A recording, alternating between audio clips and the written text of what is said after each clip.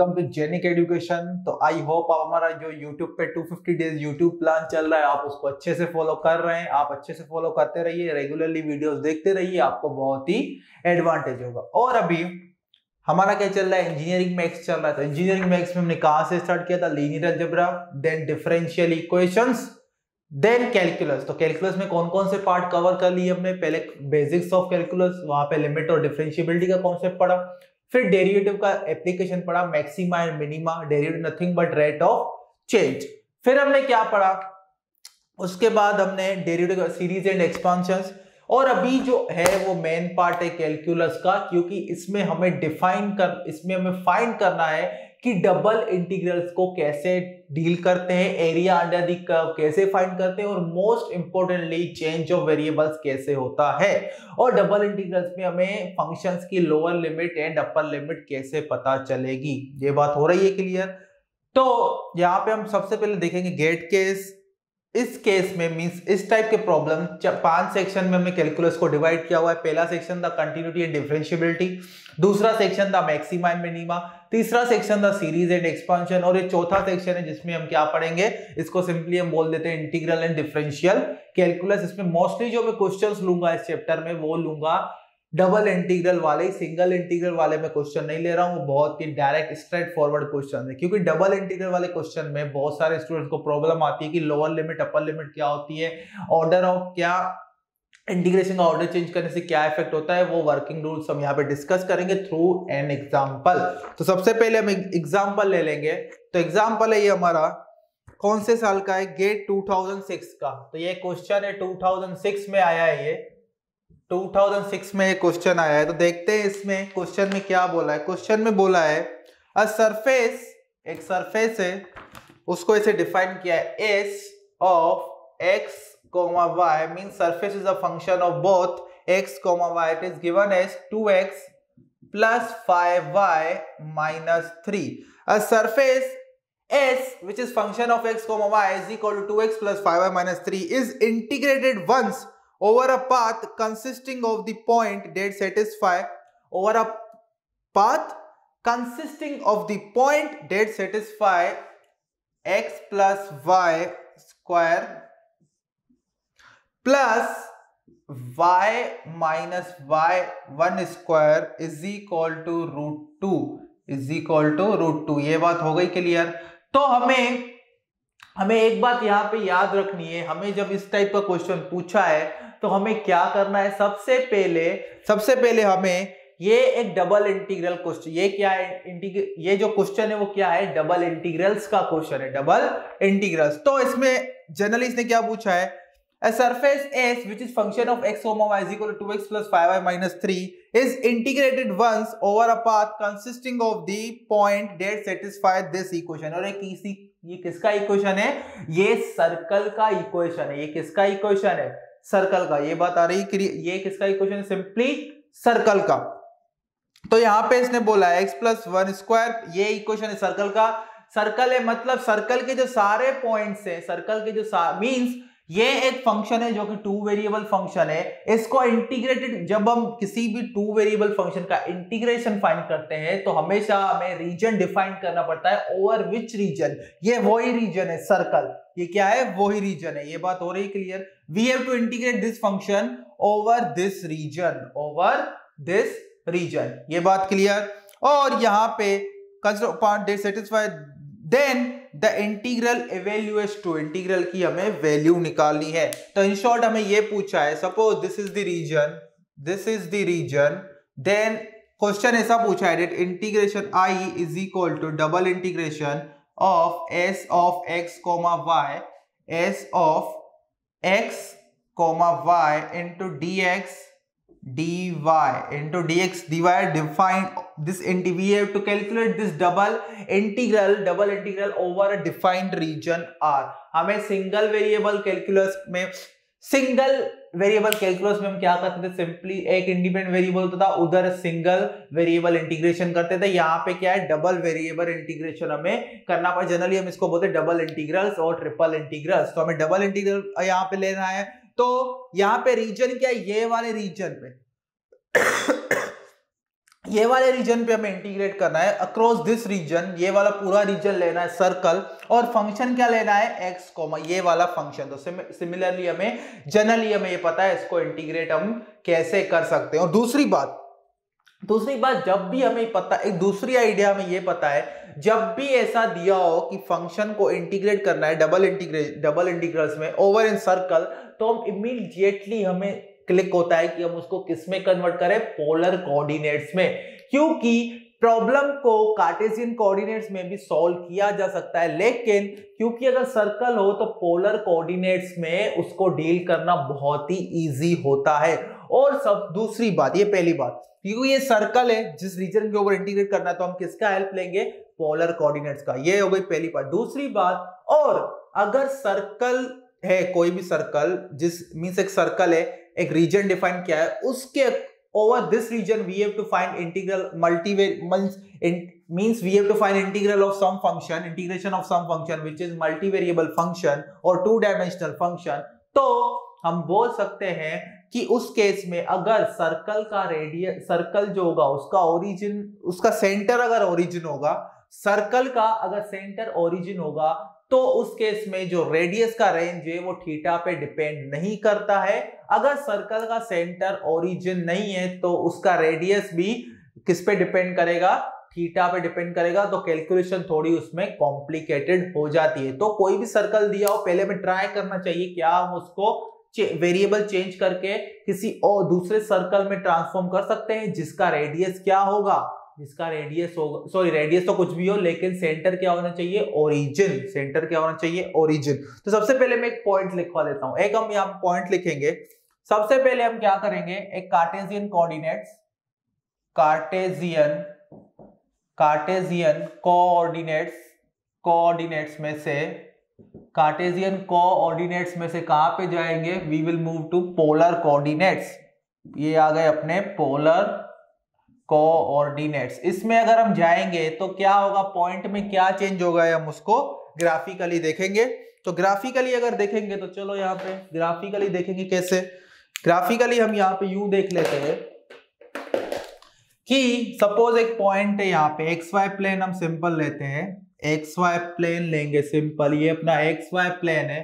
Suppose यहाँ पे point है ये X comma Y X comma Y अब यहाँ से मैं एक यहाँ पे ज्वाइन कर रहा हूँ एक वेक्टर, यहाँ पे ये एंगल थीटा, ये एंगल क्या है?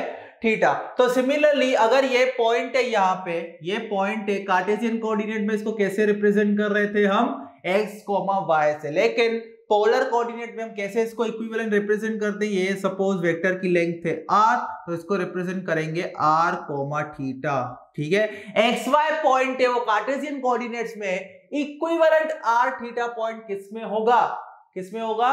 पोलर कोऑर्डिनेट्स में। किसमें? पोलर कोऑर्डिनेट्स में। और यहाँ पे यहाँ से हम रिलेशन लिख सकते हैं जो आपको पता ही होगा। That x is equal to r cos theta y is equal to r sine theta y is equal to r sine theta ये वेक्टर के दो कंपोनेंट होंगे। X एक्सिस पे जो कंपोनेंट होगा उस, उसकी लेंथ क्या होगी? लिख सकते हैं हम। X इज़ इक्वल टू इतनी लेंथ देखो।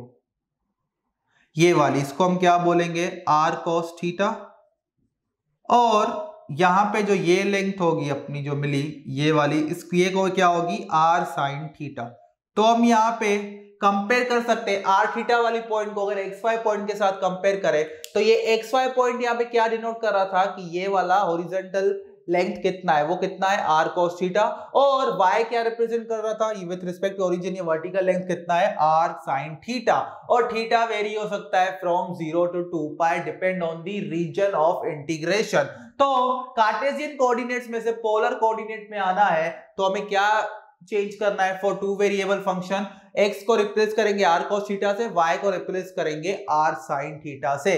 ये बात हो गई क्लियर और दूसरी बात मैंने क्या बोला, जब भी यहाँ पे जो इंटीग्रेशन का रीजन होगा, वो हम ट्राई करना है, वहाँ पे सर्कल जो उसका सेंटर हमेशा ओरिजिन हो सर्कल हो, उसमें सेंटर क्या हो ओरिजिन हो, ये बात क्लियर हो गई.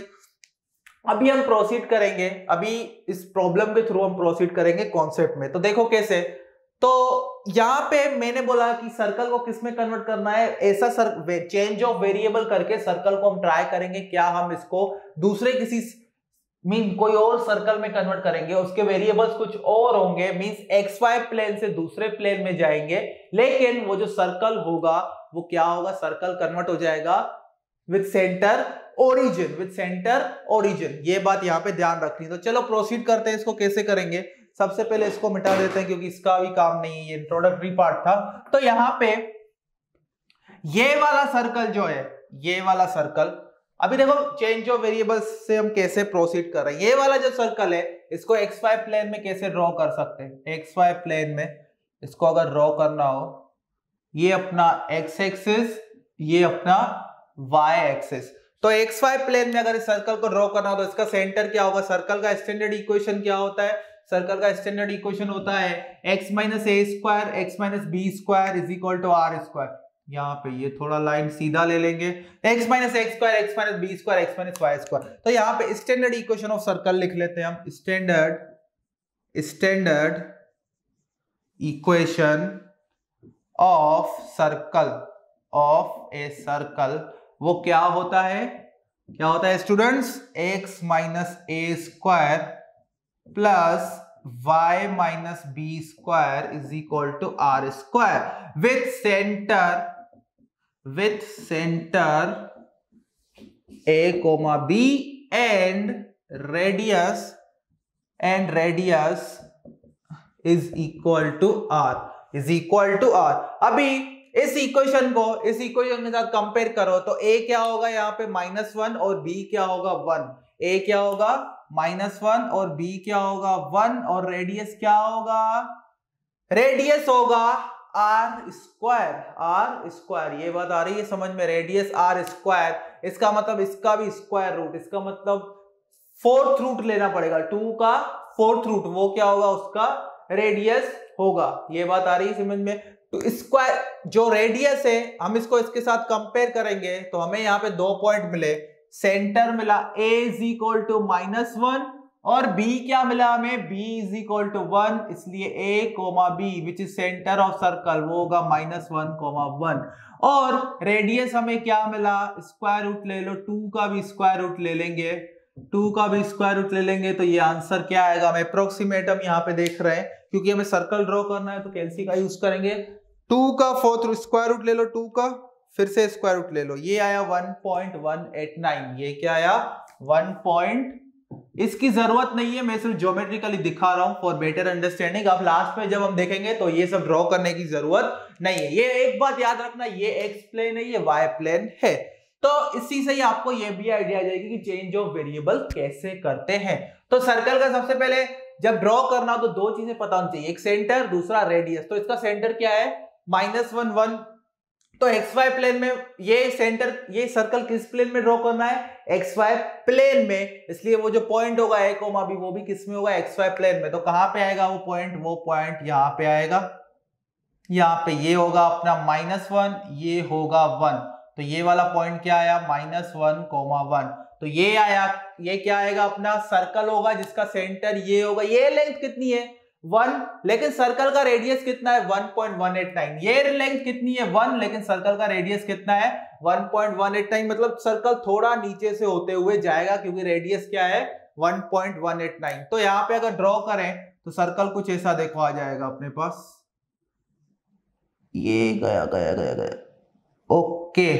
तो ऐसा सर्कल परफेक्ट सर्कल तो यहाँ पे नहीं दिख रहा, लेकिन यहाँ पे एटलीस्ट यहाँ पे रफ स्केच बहुत ही अच्छा है, क्योंकि सर्कल का जो रेडियस होगा वो ये वाला होगा, ये वाला पॉइंट और ये वाला लेंथ या फिर ये वाला लेंथ तो ये वाला लेंथ क्या होगा इसका? 1.189 ये बात हो गई क्लियर लेकिन यहाँ पे दिख रहा है कि सर्कल का सेंटर ओरिजिन नहीं है। सर्कल का सेंटर ओरिजिन नहीं है। अगर सर्कल का सेंटर ओरिजिन नहीं है, इसका मतलब अगर हम पोलर कोऑर्डिनेट्स लेंगे तो उसमें रेडियस थीटा का थीटा का क्या होगा? रेडियस थीटा का फ़ंक्शन होगा, वो हमें अवॉइड करना है। तो हमें यहाँ पे चेंज ऑफ़ वेरिएबल्स लेके सर्कल को किसी दूसरे वेरी किसी दूसरे प्लेन में हम शिफ्ट करेंगे, वहाँ पे सर्कल और सर्कल का सेंटर ओरिजिन हो जाएगा, वो कैसे हम देखते हैं। तो सबसे पहले, ये तो हमें प्रॉब्लम सोल्व करना है। तो ये प्रॉब्लम सोल्व करना है तो इसको मिटा देते हैं। इसको मिटा देंगे, और इसको भी हम मिटा देते हैं। ये सिर्फ़ बेसिक मैंने रफ प्लॉट बनाया आपको दिखाने के लिए। इसको भी हमने मिटा दिया। इसको हमने मिटा अभी यहाँ पे देखते हैं। तो सबसे पहले क्या होगा? हम यहाँ पे सपोज़ करेंगे, क्या हम सर्कल को चेंज ऑफ़ वेरिएबल करके शिफ्ट किया जा सकता है? बिल्कुल किया जा सकता है, क्योंकि हम change of variable calculus one से ही पढ़ रहे हैं। कैलकुलस वन में कैसे पढ़ रहे हैं? सपोज़ ऐसा करना हो मुझे इंटीग्रेशन ऑफ़ इंटीग्रेशन ऑफ़ ऐसे करना हो cos x sine x dx ये सिंगल वेरिएबल कैलकुलस है। ये मुझे करना हो तो हम क्या करते थे? इसको सोल्व करना हो तो साइन एक्स को टी यू ले लेते थे। U या t बोल दो। तो क्या होगा? Cos x dx is equal to d ये मैं क्या कर रहा हूँ? चेंज ऑफ़ वेरिएबल कर रहा हूँ। चेंज ऑफ़ वेरिएबल करने का एक ही रीजन है कि सिंपली कैलकुलेशन मेरे इजी हो रहे हैं और दूसरा, जो इंटीग्रेशन का जो फॉर्म होगा, वो उस फॉर्म में चेंज हो जाएगा। वो जो स्टैंडर्ड फॉर्म है, जिसका मुझे इंटीग्रेशन निकालना आता है। तो सिंपली यहाँ पे क्या हो जाएगा, u इंटू डी यू इसका मुझे इंटीग्रेशन निकालना आता है u square by two plus c c constant आता है इनडेफिनेट इंटीग्रल्स में कॉन्स्टेंट आता है डेफिनेट इंटीग्रल्स में कॉन्स्टेंट नहीं आता यू स्क्वायर यू किसको जूम किया था sine x square divide by two plus c ये बात हो गई क्लियर ऐसे हम यहीं पे similarly change of variables double integrals में भी सिमिलर वे में हम करते हैं। क्यों? क्योंकि ऐसा होता है कि जो इंटीग्रेशन है रीजन का, जो जिस रीजन मींस यू वी या कुछ भी हम ले लें तो जो रीजन है इंटीग्रेशन का, जो यहाँ पे सर्कल है चेंज ऑफ़ वेरिएबल्स के बाद वो किसी दूसरे रीजन में चेंज हो सकता है और उस रीजन के साथ डील करना इजी हो सकता है। Comparatively first region comparatively to the first region अगर हम इसको चेंज ऑफ़ वेरिएबल अप्लाई करते हैं तो दूसरे केस में जो नया रीजन बनेगा, दूसरे प्लेन में सपोज़ यहाँ पे एक्स वाई वेरिएबल से मैं यूवी वेरिएबल्स लूँगा तो उस केस में, उस केस में जो नए प्लेन में नया यहाँ पे रीजन बनेगा, उसके उसके ओवर मींस उसका इंटीग्रेशन करना इस फ़ंक्शन में इजी है मींस एस फ़ंक्शन को, उस फ़ंक्शन के थ्रू इंटीग्रेट करना इजी है compare to the original function ये बात हो गई क्लियर तो अभी यहाँ पे हम देखते हैं लेट लेट लेट हम यहाँ पे, क्योंकि सर्कल को इंटरेस्टेड है किसमें चेंज करने में? Circle with centre origin circle with centre origin तो हम let x plus y is equal to u and y minus one is equal to v y minus one is equal to v तो यहाँ से लिख सकते हैं, x is equal to u minus one y is equal to v plus one y और ये दोनों point अभी इसमें सब्सिट्यूट कर दो तो रीजन क्या हो जाएगा अपना? रीजन हो जाएगा u square plus v square is equal to root two अभी देखो एक्स वाई प्लेन में सर्कल का सेंटर क्या था? माइनस वन और वन यूवी प्लेन जो कि नया प्लेन है, क्योंकि चेंज ऑफ़ वेरिएबल हो यूवी प्लेन में ये सेम सर्कल है, लेकिन इसका अभी रेडियस क्या हो गया? सॉरी रेडियस तो सेम ही है, लेकिन सेंटर क्या होगा? ज़ीरो ज़ीरो सेंटर क्या होगा? Zero zero u minus zero square v minus zero square standard equation के साथ कंपेयर करेंगे तो क्या होगा वो? ज़ीरो ज़ीरो और अपना जो फ़ंक्शन था एस ऑफ़ एक्स वाई उसको भी अभी किसमें कन्वर्ट करेगा? यूवी वेरिएबल्स में, क्योंकि अभी जो इंटीग्रेशन करेंगे, वो किसके रिस्पेक्ट में करेंगे? u और v के रिस्पेक्ट में। ठीक है, देखते हैं यहाँ पे। ओके यहाँ पे टू टू अभी इंटीग्रेशन x की जगह पे हम क्या डाल सकते हैं? u माइनस वन प्लस क्या है? Plus five y, plus five y, v plus one, minus three. Minus three तो ये क्या आएगा? Two u two u plus five v. Five minus three minus two zero means ये भी convert हो गया एक्स ऑफ़ यू वी ये नया फ़ंक्शन बना वो किसमें? यू और वी के फॉर्म में। यू और वी के फॉर्म में। ये बात हो गई क्लियर ये फोर नहीं है, ये यू है, ये यू है। ये बात हो गई क्लियर तो यहाँ पे जो ए से वो किसका फ़ंक्शन बना? यू और बी का फ़ंक्शन बना। क्या बन गया? Two u plus five v two u plus five v आगे भी प्रोसीड करेंगे इसको मिटा दो। ये तो हमें ये तो हमें पता पता ही था ये सिर्फ़ मैंने बेसिक इंट्रोडक्टरी दिया कि मल्टी वेरिएबल जो यहाँ पे सिंगल वेरिएबल जो कैलकुलस कर रहे थे इंटीग्रेशन वो सिंगल वेरिएबल सिंगल इंटीग्रल्स कर रहे थे, वहाँ पे चेंज ऑफ़ वेरिएबल कैसे करते हैं? सिमिलरली अगर d x is equal to u minus है तो डी एक्स क्या होगा अपना? डी यू होगा। सिमिलरली डी वाई क्या होगा? डीवी होगा। डी वाई क्या होगा? डीवी होगा। तो ये अपने पास ओवरऑल इंटीग्रेशन आ गया। अब इस इंटीग्रेशन को इस फॉर्म में चेंज किया जा सकता है। इस इंटीग्रेशन को इस फॉर्म में चेंज किया जा सकता है। कैसे किया जा सकता है? इसको मिटा देंगे। अभी इसको मिटा देंगे तो हम इसको कैसे लिख सकते हैं? dx is equal to d u d y is equal to d और अपने पास इक्वेशन आ गया ये वाला। इक्वेशन क्या आ गया? रीजन का। रीजन का इंटीग्रेशन आ गया। ये वाला चेंज हो गया। तो ये वाला भी मिटा दीजिए। ये वाला भी मिटा देते हैं। तो आर आ गया अपने पास एस नया आ गया। तो अभी यहाँ पे इंटीग्रेशन को लिख लेते हैं। आर अपने पास आ गया u square plus u two u plus five e तो इंटीग्रेशन को भी लिखा जा सकता है ऐसे that is equal to integration over region which is u square plus v square is equal to root two और यहाँ पे s of x comma y किसमें चेंज हो गया s of u comma v वो कितना था? Two u plus five v और dx क्या है? du और dy क्या है? dv. और यहाँ पे चेंज ऑफ़ वेरिएबल्स मैंने डायरेक्ट कर लिया, लेकिन आगे अपकमिंग वीडियोस में आप देखेंगे कि एक जेकोबियन हम मेथड लगाते हैं Jacobian matrix change of variables के लिए। उससे डायरेक्ट चेंज ऑफ़ वेरिएबल कर सकते हैं from x y plane to u v plane और के वाई प्लेन जो भी आप के जेड प्लेन जो भी नाम दो, बस एक ये नाम दिया गया है, ज़रूरी नहीं है यूवी प्लेन ये स्टैंडर्ड इसको ऐसे सारे बुक्स में टेक्स्ट बुक्स में यूवी प्लेन बोला गया है, ऐसा कुछ भी बात नहीं है। अभी देखो एक्स वाई प्लेन में ये सर्कल था, उसका सेंटर था माइनस वन कोमा वन और रेडियस था one point one eight nine लेकिन यूवी प्लेन में ये सर्कल बन गया with centre zero zero means origin and radius is same और इस फ़ंक्शन का हो गया five u plus five v अभी हमें पता है जब भी ऐसे मीन्स फ़ंक्शन आएँगे तो हम पोलर कोऑर्डिनेट्स यूज़ करेंगे। जब भी इंटीग्रेशन ओवर रीजन करना हो सर्कल तो एक बात याद रखनी है, उसमें हम कार्टेजियन कोऑर्डिनेट्स भी कर सकते हैं। हम प्रॉब्लम लेंगे आने वाले लेक्चर में जिसमें कार्टेजियन कोऑर्डिनेट्स ही यूज़ करने पड़ेंगे क्योंकि वहाँ पे पोलर कोऑर्डिनेट्स यूज़ नहीं होते। तो हिंट में दे रहा हूँ, जहाँ पे भी sorry integration over the circle हो तो वहाँ पे पोलर कोऑर्डिनेट से प्रॉब्लम को सॉल्व करना बहुत ही इजी है। तो हम कैसे लेते हैं? पोलर कोऑर्डिनेट जब एक्स वाई प्लेन था तो मैंने इंट्रोडक्शन में बोला था कि एक्स को आर कॉस थीटा लिखेंगे वाई को आर साइन थीटा लिखेंगे। ये हो गया u v plane similarly u v plane किसमें चेंज हो जाएगा? आर थीटा प्लेन में।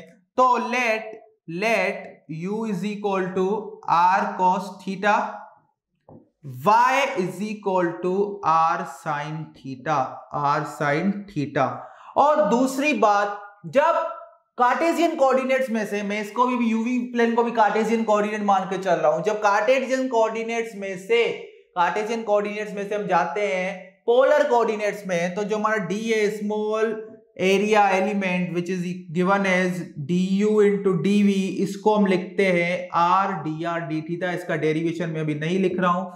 हमारे काम का वो डेरिवेशन नहीं है, लेकिन ये जो स्मॉल एरिया एलिमेंट होता है एक्स वाई प्लेन में लिखेंगे d as equal to d x into d y is equal to r d r d theta r d r d theta और हमारा रीजन क्या है? सर्कल है विद सेंटर ओरिजिन तो रीजन है अपना, यहाँ पे मैं ड्रॉ कर देता हूँ रीजन क्योंकि यहाँ पे अगर मैं यहाँ पे अगर पोलर कोऑर्डिनेट्स में चेंज कर रहा हूँ सिचुएशन को तो ये अपना यू वी प्लेन है। अगर हम यूवी प्लेन में से पोलर कोऑर्डिनेट्स में से जा रहे हैं तो हमें दो चीज़ें पता होनी चाहिए आर और थीटा हमें पता होनी चाहिए आर और थीटा तो यहाँ पे देखो, यहाँ पे सर्कल एक ड्रॉ कर देते हैं हम। एक सर्कल ड्रॉ कर दिया हमने। एक सर्कल हमने ड्रॉ कर दिया। इसका रेडियस है लेटस से, इसका रेडियस है लेटस से आर और ये एंगल है थीटा तो यहाँ पे दिख रहा है कि अगर मुझे इस सर्कल पे सारे पॉइंट्स कवर करने हैं सर्कल पे सारे पॉइंट यहाँ पे एक बात याद रखनी है, ये किस केस के लिए बता रहा हूँ, जिसमें सर्कल का सेंटर क्या है? ओरिजिन तो उस केस के लिए सर्कल का सेंटर ओरिजिन उसी का ही केस बता रहा हूँ, क्योंकि हमने बोला कि अगर सर्कल का सेंटर ओरिजिन नहीं होगा तो आर थीटा पे डिपेंड करेगा। अभी यहाँ पे देखो, अभी पॉइंट वॉज़ पॉइंट मुझे सपोज़ यहाँ पे सर्कल के अंदर सारे पॉइंट कवर करने सर्कल के अंदर सारे पॉइंट कवर करने. सपोज़ यहाँ तक, यहाँ पे जो सारे, यहाँ पे सारे पॉइंट्स कवर करने तो सपोज़ एक छोटा सर्कल बनाऊँगा. एक छोटा सर्कल बनाऊँगा जिसका रेडियस आर से तो कम ही होगा. सिमिलरली ये वाले पॉइंट करूँगा सर्कल बनाऊँगा. फिर ऐसे ही सर्कल छोटे छोटे छोटे छोटे छोटे सर्कल बनाते बनाते बनाते बनाते सारे पॉइंट इनफाइनाइट सर्कल बनाऊँगा और सारे सर्कल के अंदर पॉइंट कवर कर लूँगा। तो मैं बोल सकता हूँ, इस सर्कल के लिए छोटे छोटे में सर्कल्स बनाऊँगा। उनका रेडियस आर से तो कम ही होगा, लेकिन ऐसे छोटे छोटे सर्कल बनाऊँगा। मीन्स यहाँ से ओरिजिन से स्टार्ट करूँगा, एक सर्कल बनाऊँगा छोटा, फिर उससे बड़ा, फिर उससे बड़ा, फिर उससे बड़ा। सारे सर्कल्स के लिए मैक्सिमम सर्कल कौन सा बनेगा? रेडियस आर का। तो उन सर्कल जो सारे के सारे सर्कल्स को मुझे अगर कवर करना है तो रेडियस कहाँ से लेना पड़ेगा? ज़ीरो से आर तक ज़ीरो से आर तक। ज़ीरो से आर तक के बीच में सारे रेडियस के सर्कल कवर हो रहे हैं तो इस केस में हम क्या लेंगे? Zero less than equal to less than r less than is equal to less than is equal to r बोल देते हैं यहाँ पे। आर बोल देंगे, लेकिन क्योंकि रेडियस का हमें रेंज निकालना है तो इस प्रॉब्लम के रिस्पेक्ट में हम क्या लिख सकते हैं? Square root of root two square root of root two जो कि 1.189 था। और मुझे सारे सर्कल छोटे छोटे छोटे छोटे सर्कल सारे कवर करने तो एक ये तो आ गई रेडियस की रेंज और दूसरी बात दूसरी बात थीटा कहाँ से कहाँ चेंज होगा एवरी सर्कल के लिए? ज़ीरो से टू पाए तो थीटा की रेंज क्या आएगी अपनी?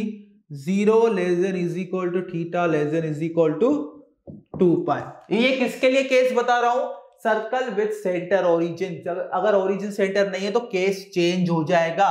फिर हमें जो सर्कल की इक्वेशन दी होती है, उसमें ये वैल्यू सब्स्टिट्यूट करनी होती है और वहाँ से आर की रेंज निकालनी होती है। Be clear with it okay अभी यहाँ पे देखो, ये अभी सिंपली हमें यहाँ पे इसको किसमें कन्वर्ट करना है? पोलर कोऑर्डिनेट्स में। पोलर कोऑर्डिनेट्स में करना है तो ये डी यू इंटू डीवी क्या हो जाएगा? R d r d theta और यहाँ पे क्योंकि अभी एक दूसरी बात, जब डबल इंटीग्रेशन करते हैं तो ये ऑर्डर ऑफ़ इंटीग्रेशन हमें मैटर करता है।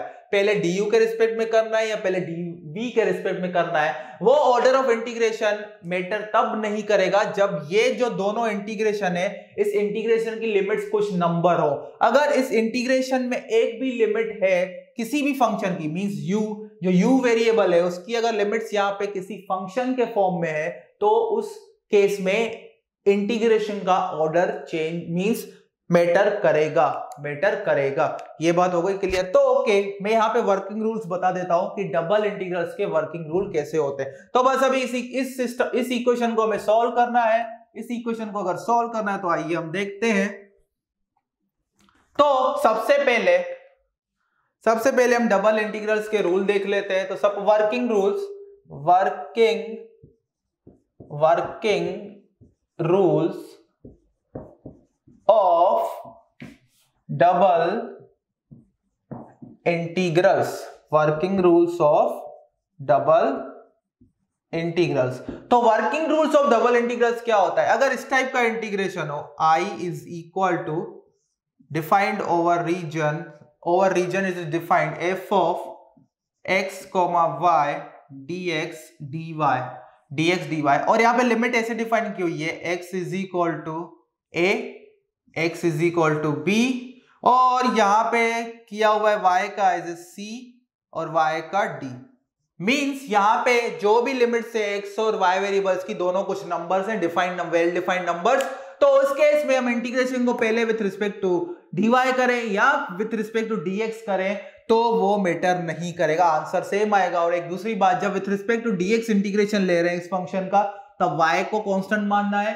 जहाँ विथ रिस्पेक्ट टू y ले रहे तो x को कांस्टेंट मानना है। जैसे हम पार्शियल डिफरेंशिएशन में करते हैं मल्टी वेरिएबल कैलकुलस के कैलकुलस में जब पार्शियल डिफरेंशिएशन करते हैं पार्शियल डेरिवेटिव लेते हैं फ़ंक्शन का। सिमिलरली यहाँ पे डबल इंटीग्रल्स में वही कर जैसे पार्शियल डेरिवेटिव्स में हम क्या कर रहे थे? एक, जब किसी भी एक फ़ंक्शन का डेरिवेटिव लेते हैं विथ तो वहाँ पे दूसरा एक जो डेरिवेटिव लेते हैं with respect to some function तो अदर फ़ंक्शन को कांस्टेंट रखते हैं। सिमिलरली डबल इंटीग्रल्स में भी ऐसा ही है। जब किसी एक वेरिएबल के रिस्पेक्ट में हम इंटीग्रेशन सॉल्व हैं तो दूसरे वेरिएबल को क्या रख रहे हैं? कांस्टेंट रख रहे हैं। तो इस केस में, इस केस में ऑर्डर ऑफ़ इंटीग्रेशन मैटर नहीं करता है। लेकिन इस केस में सपोज़ ऐसा हो ऐसा हो f of x comma y d x d y d x d y अगर ऐसे ऐसे डिफाइन किया हो, that x is equal to function of y, जो यहाँ पे लिमिट है एक्स की, वो भी नंबर्स नहीं है, फ़ंक्शन है वाई के। फ़ंक्शन है, एक्स जो है, एक्स जो है, वो वेल डिफाइंड नंबर्स नहीं है, जैसे इस केस में था, कुछ कांस्टेंट नंबर लेकिन एक्स किस फॉर्म में फ़ंक्शन के फॉर्म में, किस फॉर्म में? फ़ंक्शन के फॉर्म में। और किसका फ़ंक्शन है? वाई का, जो दूसरा इंडिपेंडेंट वेरिएबल है, और वाई की लिमिट डिफाइन की गई है। Y की डिफाइन लिमिट डिफाइन की गई है। इस केस में ऑर्डर ऑफ़ इंटीग्रेशन मैटर करता है। इस केस में ऑर्डर ऑफ़ इंटीग्रेशन मैटर करता है। अगर इस टाइप का इंटीग्रेशन है तो हमें सबसे पहले उस फ़ंक्शन के, इस केस में ऑर्डर ऑफ़ इंटीग्रेशन मैटर करेगा। क्यों? क्योंकि यहाँ पे जो फ़ंक्शन है एक्स वो किसका फ़ंक्शन है? जो एक्स की लिमिट्स है, वो किसकी, जो x की लिमिट्स है, वो they its they itself are the function of y. They itself are function of y. तो अगर प्रॉब्लम ऐसे डिफाइन की गई है प्रॉब्लम ऐसे डिफाइन की गई है तो यहाँ पे dx और dy को उल्टा नहीं कर सकते।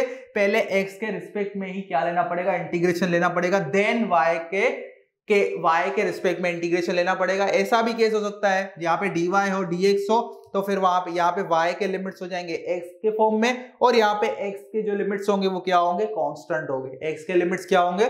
कांस्टेंट होंगे। और एक दूसरी मेथड आती है। अगर इस केस में ऑर्डर ऑफ़ इंटीग्रेशन चेंज किया ऑर्डर ऑफ़ इंटीग्रेशन चेंज किया तो कोई फ़र्क नहीं पड़ेगा। जहाँ पे दोनों की लिमिट्स क्या है नंबर के फॉर्म में डिफाइंड है। लेकिन अगर इस केस में ऑर्डर ऑफ़ इंटीग्रेशन चेंज करते हो तो यहाँ पे पूरे लिमिट्स भी चेंज हो जाते हैं। वो हम प्रॉब्लम के थ्रू देखेंगे। इन शॉर्ट हमें क्या याद रखना है? जब डबल इंटीग्रेशन का प्रॉब्लम दिया हुआ हो, अगर उस केस में दोनों लिमिट्स क्या हो वेल डिफर कॉन्स्टेंट नंबर हो तो पहले डीवाई के रिस्पेक्ट में करो या डीएक्स के रिस्पेक्ट में करो, कोई भी फ़र्क नहीं पड़ेगा। लेकिन अगर ऐसा इसके, इस टाइप का इंटीग्रेशन दिया हुआ, जिसमें एक्स जिसमें ऐसा दिखाया हो कि पहले डीएक्स के रिस्पेक्ट में जिसमें डीएक्स अंदर दिखाया हो, dy बाहर दिखाया हो, और लिमिट्स दिख रही है एक्स की, सीधी सी बात है, अगर x x अंदर दिखाया है तो यहाँ पे इस केस में लिमिट भी पहले x के फॉर्म एक्स की डिफाइन की गई होगी, जो फ़ंक्शन है y का तो उस केस में हम पहले विथ रिस्पेक्ट टू y नहीं करेंगे, पहले विथ रिस्पेक्ट टू x ही करेंगे। ये बात आ रही है सो ये बात आ रही समझ में। और और ये बात आ रही समझ में। अगर अगर कोई स्टूडेंट ऐसे सोचता है अच्छा मैंने विथ रिस्पेक्ट टू वाई कर लिया तो तो कर लेना। विथ रिस्पेक्ट टू वाई करोगे तो ये वाले नंबर्स यहाँ पे आ जाएँगे। फिर विथ रिस्पेक्ट टू एक्स करोगे तो ये एक्स के जो फ़ंक्शन है, इसमें आ जाएँगे तो ओवरऑल इंटीग्रेशन किसके फॉर्म में आएगा? Y के फॉर्म में। Y के फॉर्म में। लेकिन अगर पहले with respect to x integration करोगे तो फ़ंक्शन का जो रिज़ल्ट आएगा, y के फॉर्म में आएगा। फिर y के विथ फिर किसके रिस्पेक्ट में इंटीग्रेशन करोगे? Y के रिस्पेक्ट में। तो y के नंबर्स आएँगे और वो इंटीग्रेशन सॉल्व हो जाएगा, उसमें कोई भी वेरिएबल नहीं बचेगा। तो दो बातें याद रखनी है, अगर डबल इंटीग्रेशन है लिमिट्स कांस्टेंट है तो ऑर्डर ऑफ़ इंटीग्रेशन मैटर नहीं करता। लेकिन अगर डबल इंटीग्रेशन में कोई भी एक लिमिट कोई भी एक लिमिट क्या डिफाइन की है? दूसरे वेरिएबल के फ़ंक्शन के फॉर्म में डिफाइन की गई है तो उस केस में ऑर्डर ऑफ़ इंटीग्रेशन मैटर करता है। फिर जो अंदर है, पहले उसके रिस्पेक्ट में ये हमें इंटीग्रेट करना पड़ेगा। और अगर कोई स्टूडेंट की चाहत है, किसी को बहुत ही इंटरेस्ट है, इस ऑर्डर ऑफ़ इंटीग्रेशन को चेंज करने में तो यहाँ पे लिमिट्स भी चेंज हो करनी पड़ेंगी उसके अकॉर्डिंग उसके अकॉर्डिंग हो गई क्लियर बात? अभी इस प्रॉब्लम को सॉल्व करते हैं। इस प्रॉब्लम पे हम फोकस करते हैं। इसको मिटा देते हैं। इसका ऑर्डर ऑफ़ इंटी मींस एक दूसरा जो आता है कि ये जो फ़ंक्शन है, इस टाइप की अगर इंटीग्रेशन है, जहाँ पे वाई एक्स एक्स क्या है? एफ़ वन ऑफ़ y है और एक दूसरा अपर लिमिट क्या है? X two is equal to f two of y उस केस में एफ़ वन ऑफ़ वाई कैसे हमको अगर नहीं दिया हो तो रीजन देख के कैसे डिटरमाइन करना है वो हम देखेंगे। ओके okay, तो यहाँ पे ये चीज़ें इसमें सब्सटीट्यूट कर दो तो क्या हो जाएगा? I is equal to I is equal to I is equal to two into u two into u तो टू इंटू यू क्या होगा? u हमने क्या लिया है? R cos theta two r cos theta plus plus five r sine theta five r sine theta और d u into d y की जगह पे क्या लिखेंगे? R d r d theta r d r d theta और यहाँ पे, क्योंकि यहाँ पे हम पहले थीटा की लिमिट भी डिफाइन कर सकते हैं आर की लिमिट भी डिफाइन कर सकते हैं, क्योंकि दोनों की जो लिमिट्स है वो वेल डिफाइंड है कॉन्स्टेंट्स है। ये डबल इंटीग्रेशन का वही केस है, पहला वाला पहला वाला। तो यहाँ पे देखो r d r d theta तो यहाँ पे थीटा किसके आर कहाँ से, थीटा कहाँ से कहाँ चेंज हो रहा है? ज़ीरो से टू पाए और आर कहाँ से कहाँ चेंज हो रहा है? ज़ीरो से two to the power one by four यहाँ पे, क्योंकि यहाँ पे क्योंकि r और थीटा दोनों की जो लिमिट्स है, वो फ़ंक्शन के फॉर्म में नहीं है, किसी नंबर्स के फॉर्म में तो पहले थीटा की लिमिट लिखो या पहले r की लिमिट लिखो, कोई भी चेंज नहीं होगा। पहले थीटा के रिस्पेक्ट में डेरिवेटिव लो सॉरी इंटीग्रेशन लो, या पहले r के रिस्पेक्ट में इंटीग्रेशन लो, कोई फ़र्क नहीं पड़ेगा, क्योंकि ये पहला वाला केस है। ये बात हो गई क्लियर ओके तो हम विथ रिस्पेक्ट टू थीटा लेते हैं। विथ रिस्पेक्ट टू थीटा हम इंटीग्रेशन लेंगे। तो हम लिख सकते हैं ज़ीरो से टू क्योंकि हम थीटा के रिस्पेक्ट में ले रहे हैं तो आर की जो इंटीग्रेशन आर की जो लिमिट है, उसको कुछ भी टच नहीं करना है। ओके तो यहाँ से आर आर कॉमन निकलेगा और ये आर तो आ गया आर स्क्वायर अभी, क्योंकि थीटा के रिस्पेक्ट में हम इंटीग्रेशन कर रहे हैं फ़ंक्शन का तो आर अपना कांस्टेंट होगा तो अंदर जाएगा इसके। टू कोस थीटा का इंटीग्रेशन क्या होगा? With respect to d theta two sine theta two sine theta. ये बात हो गई क्लियर फाइव साइन थीटा का इंटीग्रेशन क्या होगा? Minus five cos theta minus five cos theta क्योंकि साइन थीटा का इंटीग्रेशन क्या होता है? माइनस कॉस थीटा और यहाँ पे ये, यहाँ पे क्या आएगी? थीटा के क्या आएँगे? लिमिट्स आ जाएँगे. थीटा के लिमिट्स डिफाइन किए हुए हैं ज़ीरो से टू पाई ज़ीरो से टू तो पहले इसको सोल्व करेंगे और आगे क्या बचा है? डी आर फिर with respect to d r हम देखेंगे तो zero to two to the power one by four r square इसको सोल्व करो. तो पहले टू पाई सब्सिट्यूट करोगे तो क्या आएगा? Two into sine two pi zero because sine two pi minus five into cos two pi five minus five into और आगे अभी यहाँ पे देखोगे, ज़ीरो रख दो यहाँ पे तो two into sine zero zero plus क्योंकि माइनस और माइनस प्लस फाइव ये अपना कट हो गया। अगर मीन्स ये क्या आ रहा है? ज़ीरो आ रहा है। तो यहाँ पे इसका रिज़ल्ट क्या आएगा? इंटीग्रेशन का इंटीग्रेशन का रिज़ल्ट आएगा। ज़ीरो ज़ीरो, यहाँ पे d r zero. To two to the power one by four into r square into zero into d r इस इंटीग्रेशन का रिज़ल्ट क्या होगा? सिंपल ज़ीरो क्योंकि ज़ीरो इंटू आर स्क्वायर क्या हो जाएगा? ज़ीरो तो ओवरऑल इस इंटीग्रेशन का रिज़ल्ट क्या हो गया? ज़ीरो ओवरऑल इस इंटीग्रेशन का रिज़ल्ट क्या हो गया? ज़ीरो बिकॉज़ ज़ीरो बाहर आ जाएगा, फिर इस इंटीग्रेशन को कुछ सॉल्व करोगे तो कुछ नंबर आएगा या ज़ीरो आएगा। Zero multiplied by any number तो रिज़ल्ट क्या आएगा? ज़ीरो आएगा। क्या आएगा? ज़ीरो तो ओवरऑल हमने इस प्रॉब्लम को कैसे टेकल किया? इस प्रॉब्लम को हमने टेकल किया कैसे? पहले एक्स वाई प्लेन में था प्रॉब्लम फिर मैंने क्या बोला? क्योंकि सर्कल है तो हम पोलर कोऑर्डिनेट्स लेंगे। पोलर कोऑर्डिनेट्स की हेल्प से प्रॉब्लम इजी हो जाएगा, जो कि हुआ आपको दिखा। और दूसरी बात दूसरी बात यहाँ पे circle with centered at origin में पोलर कोऑर्डिनेट्स अगर लेंगे तो रेडियस थीटा का फ़ंक्शन नहीं होता, इसलिए हमने एक्स वाई प्लेन से हम यूवी प्लेन में गए एक्स वाई प्लेन से यूवी प्लेन में गए। और दूसरी बात, अभी इसमें दूसरा मेथड भी लगाया जा सकता है, कैसे? क्योंकि यहाँ पे सर्कल की इक्वेशन आ गई है u square plus v square is equal to root two u square plus v square is equal to root two तो यहाँ पे हम डी यू डी वी अभी ओके पहले मैं डिस्कस फिर हमने आर की रेंज निकाली, फिर थीटा की रेंज निकाली, और ये वाला आर की रेंज जो किसके फ़ंक्शन जो थीटा का फ़ंक्शन नहीं है, ये सिर्फ़ सर्कल विथ सेंटेड ओरिजिन के केस में ही होगा। थीटा ज़ीरो से पाए टू पाए क्योंकि सारे पॉइंट्स को कवर करना है, इसलिए ये रेंज आएगी रेडियस की। और फिर हमने इसको सब्सटीट्यूट कर दिया सिंपल सब यहाँ पे बहुत सारे स्टूडेंट्स यहाँ पे आर लगाना भूल जाते हैं। Please don't do this r यहाँ पे याद रखना डी जब dx into d y d is equal to d u is equal to d v is equal to क्या लिखेंगे? R d r d theta not d r into d theta वो ऐसा सोचने लगते हैं इफ़ dx dy है तो वहाँ पे dr इंटू डी थीटा होगा। ऐसा नहीं, इसका प्रूफ आप किसी भी बुक में पढ़ सकते हो, ऐसा नहीं होता।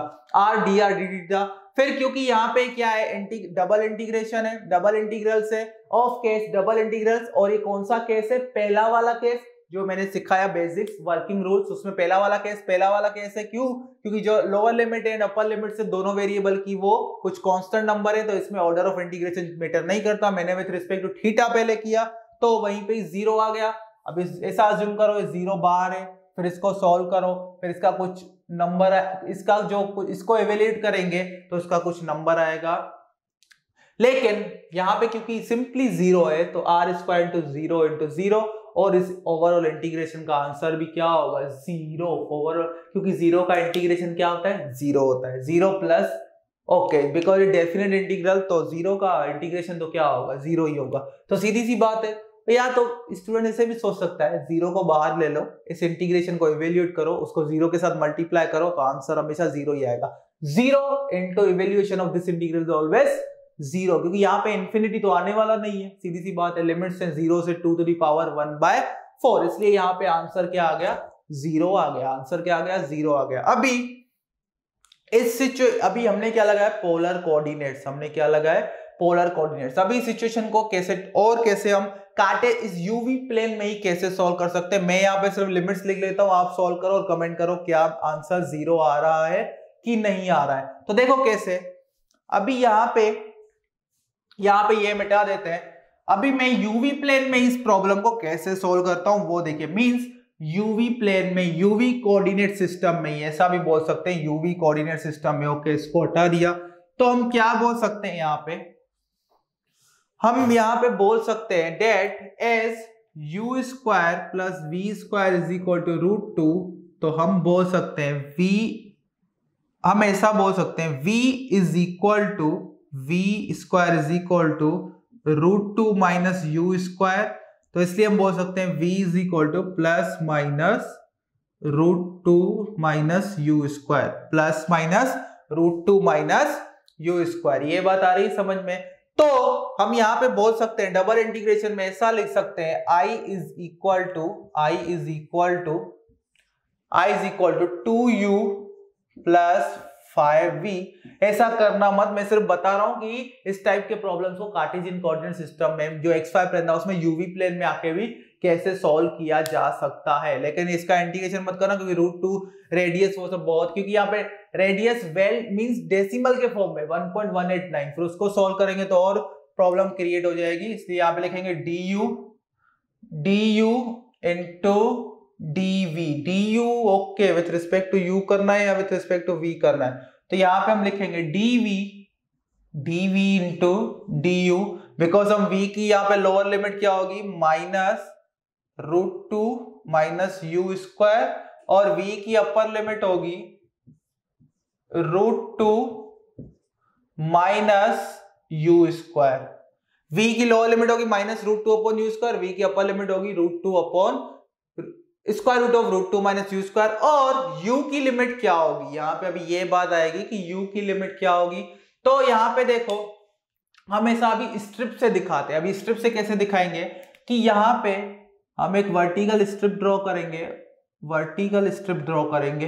तो इससे हमें वाई की रेंज का पता चलेगा। वर्टिकल स्ट्रिप ड्रॉ करेंगे तो वाई की रेंज का पता चलेगा कि y vertical strip vertical strip इस रीजन में क्या होगी? नेगेटिव ही होगी। तो इसलिए वर्टिकल स्ट्रिप देखो, अभी हमें क्या लिखनी है यहाँ पे? V की रेंज लिखनी है तो v कहाँ पे है? Y एक्सिस पे। तो वर्टिकल स्ट्रिप को हमें पकड़ना है। वर्टिकल स्ट्रिप ड्रॉ करेंगे और देखेंगे कि नीचे वाले रीजन को वर्टिकल स्ट्रिप कहाँ से स्टार्ट हो रही है? यहाँ से नीचे वाले रीजन से और कहाँ पे स्टॉप हो रही है?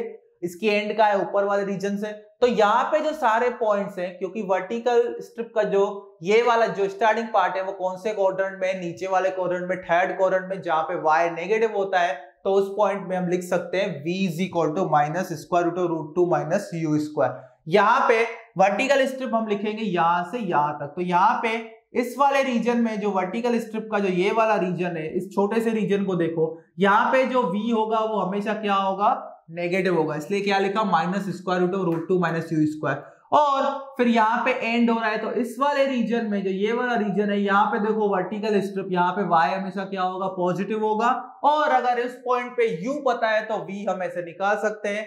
और क्योंकि अभी वी की लिमिट्स पता है तो यहाँ पे इस फ़ंक्शन का क्या लेंगे? इंटीग्रेशन लेंगे पहले विथ रिस्पेक्ट टू v, फिर वो किसके फॉर्म में आएगा? U के फॉर्म में। और उसको अगर फाइनली सॉल्व करना है u को तो हमें u के डेफिनेट लिमिट्स पता होनी चाहिए। तो u के डेफिनेट लिमिट पता होनी चाहिए। इस सर्कल के लिए हमने v का तो फ़ंक्शन लिख दिया, लेकिन u का हमें कांस्टेंट लिमिट्स चाहिए। तो u देखो, इस सर्कल के लिए u इस पॉइंट से इस पॉइंट तक वेरी हो रहा है। और ये क्या है? रेडियस ये क्या है? रेडियस ये भी क्या है? रेडियस ये रेडियस ये सर्कल का। तो ये रेडियस की लेंथ कितनी है? 1.189 square root of square root of square root of two ये क्या है? 1.189 और ये सिमिलरली पॉइंट क्या होगा? माइनस वन इसका मतलब u की लिमिट क्या आएगी? ये होगी लोअर लिमिट वहाँ से चेंज हो रहा है माइनस वन और अपर लिमिट क्या होगी? 1.189 ये बात हो गई क्लियर अभी इसी प्रॉब्लम को हम ये वाला जो पहला इंटीग्रेशन है, वो v के u u के फॉर्म में भी लिख सकते हैं। यहाँ पे फिर क्या आ जाएगा? V आ जाएगा। उसको अगर लिखना हो, उसको अगर लिखना हो तो फिर हम हॉरिजेंटल स्ट्रिप ड्रॉ करेंगे। क्या ड्रॉ करेंगे? एक हॉरिजेंटल स्ट्रिप ड्रॉ करेंगे। हॉरिजेंटल स्ट्रिप ड्रॉ करेंगे। तो हॉरिजेंटल स्ट्रिप ड्रॉ करेंगे तो देखेंगे यहाँ पे हॉरिजेंटल स्ट्रिप में कि यहाँ पे ओरिजेंटल स्ट्रिप का ये यहाँ से स्टार्टिंग है, ये एंडिंग है। तो यहाँ से अगर देखेंगे, यहाँ से अगर देखेंगे तो यहाँ से दिख रहा है कि इस पॉइंट पे हम एक्स को कैसे डिफाइन इस पॉइंट पे हम सॉरी इस पॉइंट पे, इस पॉइंट पे v को कैसे डिफाइन करेंगे इन टर्म्स और u को कैसे डिफाइन करेंगे इन टर्म्स ऑफ़ v? यही रिलेशन लगा के। v को, u को क्या लिख देंगे? Root two minus V square उसका स्क्वायर रूट ले लेंगे। फिर सिमिलरली जैसे u के यहाँ पे लिमिट्स डिफाइन किए, वैसे ही v के लिमिट्स भी हम डिफाइन कर सकते हैं। और इसका मैं एडिशनल जो इसका जो डिटेल्ड ये कैसे लेते हैं ये वाला, कि कब x की लिमिट्स लेंगे। मतलब इस प्रॉब्लम के लिए हमें कैसे पता चलेगा कि पे कब x की लिमिट्स डेफिनेट लेनी है, या y की, या u मींस x की लिमिट डेफिनेट लेनी है मींस कांस्टेंट नंबर्स या y की लेनी है, या y को फ़ंक्शन के फॉर्म में लिखना है, या x को फ़ंक्शन के फॉर्म में लिखना है, वो हमें प्रॉब्लम देख के प्रैक्टिस से पता चल जाता है। ये बात हो गई क्लियर अभी इसमें हमने सिंपली देखा, अगर कर्व का फ़ंक्शन लिखना है, किसके फॉर्म में? V या u के फॉर्म में। तो एक हमने वर्टिकल स्ट्रिप ड्रॉ किया। तो vertical strip vertical strip draw किया। देखा, यहाँ पे जो वर्टिकल स्ट्रिप इस पोजीशन में इसको टच कर रहा है, वहाँ पे फ़ंक्शन कैसे बिहेव कर रहा है? वहाँ पे फ़ंक्शन सीधी सी बात है, यहाँ पे v नेगेटिव है। और अगर इस रीजन में u पता है, क्योंकि v जो है वो u और v ये वाला इक्वेशन सेटिस्फाई कर रहे हैं तो इस रीजन में अगर u पता है तो v पता चल जाएगा तो v को u के फॉर्म में लिखा। लेकिन ये स्ट्रिप का ये पार्ट थर्ड क्वाड्रेंट में मतलब नेगेटिव थर्ड क्वाड्रेंट मतलब v क्या होगा? नेगेटिव मतलब v की लोअर लिमिट क्या होगी? Minus square root of minus U square और अपर लिमिट क्या होगी? प्लस और फिर v, u की लिमिट्स क्या होंगे? Minus one point one eight nine to one point one eight nine ये हो गया क्लियर तो ये सब एडिशनल इंफॉर्मेशन था, लेकिन हमें इस टाइप के प्रॉब्लम में कहाँ तक ही रुक जाना है? कहाँ तक रुक जाना है? जहाँ पोलर कोऑर्डिनेट्स करके जो आंसर आ गया, वहीं पे रुक जाना है। अभी आप भी देखोगे कि इसको सॉल्व करना बहुत ही टफ है। इसको सॉल्व करना बहुत टफ है कॉम्प्लिकेटेड है compare to previous problem previous problem में तो simple sine theta cos theta था, उसको सॉल्व किया। आंसर आ गया ज़ीरो जो आर वाला वेरिएबल था, उसको सॉल्व करने की ज़रूरत नहीं पड़ी। लेकिन इस केस में जैसे ही मैंने वर्टिकल स्टेप ओरिजेंटल स्टेप का कॉन्सेप्ट बताया कि वी की लिमिट कैसे लगानी है, अभी यहाँ पे इसको पहले v के रिस्पेक्ट में सॉल्व करोगे, u कांस्टेंट होगा आंसर आएगा two U V plus five V square फिर वहाँ पे ये v रखोगे, फिर फ़ंक्शन u के फॉर्म में बनेगा, फिर u फॉर्म में जो फ़ंक्शन आएगा उसका इंटीग्रेशन लोगे, फिर u की जगह ये रखोगे, फिर दिखेगा आंसर क्या आ रहा है? ज़ीरो आ रहा है आंसर क्या आ रहा है? ज़ीरो आ रहा है। तो सर्कल के जो भी प्रॉब्लम है, वहाँ पे हम ट्राई करेंगे कि हम क्या यूज़ करें? पॉसिबल हो तो हमेशा क्या यूज़ करेंगे? पोलर कोऑर्डिनेट्स ही यूज़ करेंगे। क्या यूज़ करेंगे? पोलर कोऑर्डिनेट्स ये बात हो गई क्लियर ओके तो आई होप आपको इस प्रॉब्लम में एक्चुअली ये डबल जो इंटीग्रल वाले प्रॉब्लम है उसको सिर्फ़ सॉल्व मत किया करो, उनको समझा करो एक्चुअली उनका मतलब क्या है? एक्चुअली उनका मतलब क्या है? जैसे कि ये वाला प्रॉब्लम है सर्कल दिया हुआ था एक्स वाई प्लेन में और दूसरा एक फ़ंक्शन था तो इसका मतलब ये जो सर जो डबल इंटीग्रल होता है, दूसरा क्या होता है? वॉल्यूम होता है। ये क्या होता है? वॉल्यूम ये एक सर्कल था, ये एक सर्कल था, उसके ऊपर दूसरा फ़ंक्शन था। उसका इंटीग्रेशन मतलब कि ये सर्कल का मैं पॉइंट लूँगा और उस फ़ंक्शन का वैल्यू निकालूँगा। उस ये सर्कल का एक पॉइंट लिया, उस फ़ंक्शन का वैल्यू देखा। तो ये एक थ्री डायमेंशनल बॉडी बन रही है। इस थ्री डायमेंशनल बॉडी का जो वॉल्यूम होता है, वही क्या होता है? डबल इंटीग्रल्स इसलिए डबल इंटीग्रल्स में हमेशा देखोगे कि कि किसी भी फ़ंक्शन का over which region you have to do the double integration हमेशा इसलिए रीजन जो इंटीग्रेशन का होता है, वो वेल डिफाइन होता है और जो डबल इंटीग्रेशन से अगर हम डबल इंटीग्रेट करते हैं किसी भी फ़ंक्शन को ओवर डिफाइंड रीजन वो क्या देता है? वॉल्यूम बताता है, वो वॉल्यूम बताता है। ये बात हो गई क्लियर ओके तो आई होप आपको इस लेक्चर में कुछ नया, बहुत ही अच्छे कॉन्सेप्ट सीखने को मिले होंगे। फिर से हम नेक्स्ट लेक्चर में जब आएँगे तो नेक्स्ट लेक्चर में मैं जो प्रॉब्लम लेके आऊँगा नेक्स्ट लेक्चर में, वो इसी उसमें मैं ये वर्टिकल और हॉरिजॉन्टल स्ट्रिप का और थोड़ा डिटेल में बताऊँगा आपको। और थोड़ा डिटेल में वो बेसिक कॉन्सेप्ट से बताऊँगा कि वो फॉर्मूला कैसे लिखते हैं डबल इंटीग्रेशन की। तो उसमें बताऊँगा कि जो रीजन होता है, वो अगर किस शेप का हो तो हम एक्स को कांस्टेंट रखेंगे और वाई को वेरिएबल रखेंगे एक्स के फॉर्म में। और किस किस केस में हम एक्स को वेरिए एक्स के जो लिमिट्स है, वो y के फॉर्म में रखेंगे और y के लिमिट्स कांस्टेंट रखेंगे। ये मैं उस लेक्चर में बताऊँगा। तो आप ये नोट कर लीजिएगा। ये जो पार्ट है कैलकुलस का बहुत ही इंपॉर्टेंट है। इसको समझिए और विजुअलाइज कीजिए चीज़ों को। ये बात हो गई क्लियर ओके और अगर आप सेल्फ स्टडी स्टूडेंट हैं तो आप हमारा जेनिक पेड यूज़र्स का कोर्स भी आप परचेस कर सकते हैं। और ज़्यादा इंफॉर्मेशन चाहिए तो आप हमारे वेबसाइट जेनिक एजुकेशन डॉट कॉम पे भी विज़िट कर सकते हैं। तो मिलते हैं नेक्स्ट लेक्चर में। तब तक के लिए थैंक यू